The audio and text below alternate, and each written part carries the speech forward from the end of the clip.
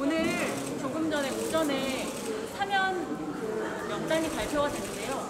국민의힘 입장에서는 어떻게 평가하시는지 궁금합니다.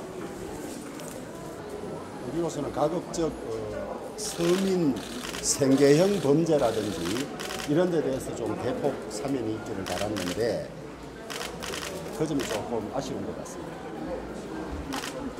김성원 의원님 관련해서요. 오전에 윤리위 언급을 하셨는데 예. 오늘 중으로 제출하지만 그 절차가 좀 진행이 될까요? 예, 윤리위원회는 어, 당 대표가 제, 회부하는 방법이 있고 윤리위원회에서 하는 방법이 있는데 가까운 시간 안에 예, 비대위원장 자격으로 윤리위원회 회부하는 결정을 하겠습니다. 그 김성원 의원님이 예결 예결위 간사직 내놓겠다라고 말씀하셨는데 그게 위원장님과 사전에 논의가 됐나요? 아니 저하고 논의된 바는 없습니다.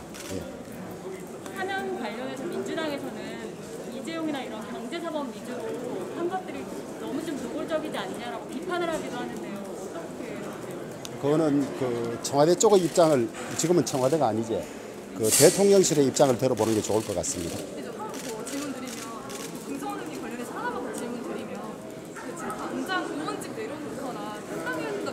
드리면 그 예. 여기에 대해서 좀 어떻게 예, 에, 징계 절차를 진행하면서 더 의견을 수렴하도록 하겠습니다.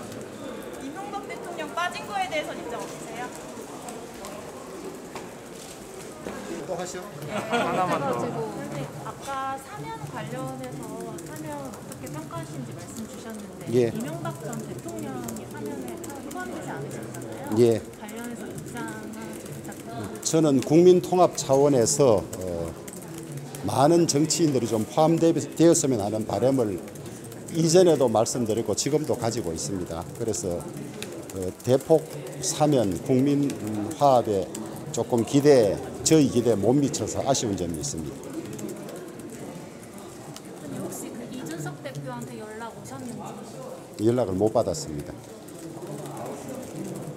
최춘식 의원이 어제 국민의 지역 관련해서 우리 지역은 소양 된다라고 아니, 시끄러워서 잘 안 들려요. 최춘식 의원이 어제 소액 인사 활동을 가셔서 소양 상대만 우리 지역은 안 넘으면 된다라고 말씀하신 게또 논란이 됐거든요. 예. 거기에 대해서는 좀 어떻게 생각하세요? 제가 발언의 전후 맥락이나 배경을 잘 몰라서 더 알아보고 하겠습니다.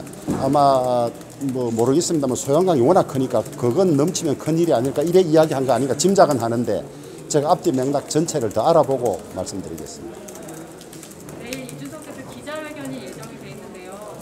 그 기자회견 내용을 간접적으로라도 접하시면 비대위원장으로서 입장을 내시거나 이럴 계획이 있으세요? 그 기자회견 이후에 저희들 입장이 있으면 정리해서 말씀드리겠습니다. 안녕하십니까.